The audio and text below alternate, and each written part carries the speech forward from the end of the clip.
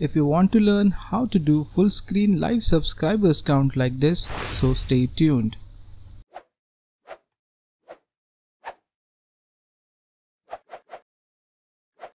So to do a full screen live subscriber count, all you have to do is open up your Chrome browser and go to this website.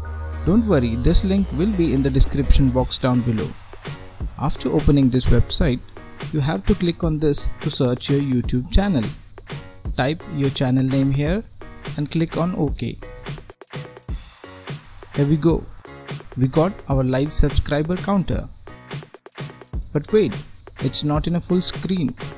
So make it a full screen, click on these three dots here and then click on this square icon or just press F11 key to make it full screen. But wait, we still have this upper part and the lower part in our screen. So how do we clear that? Don't worry, it's a simple thing. In order to remove the unwanted part, press and hold the control button on the keyboard and press the plus button until the unwanted part gone outside the screen. Or press and hold the control button and scroll up from your mouse wheel. And now adjust your screen by moving this scroll bar. If you need to zoom it a little bit, do that.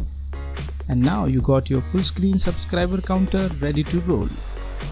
So guys, that's it for this video. If you like this video, do hit the like button down below and if you haven't subscribed to this channel yet, do hit the subscribe button down below. That's it for this video and I'll see you on the next one.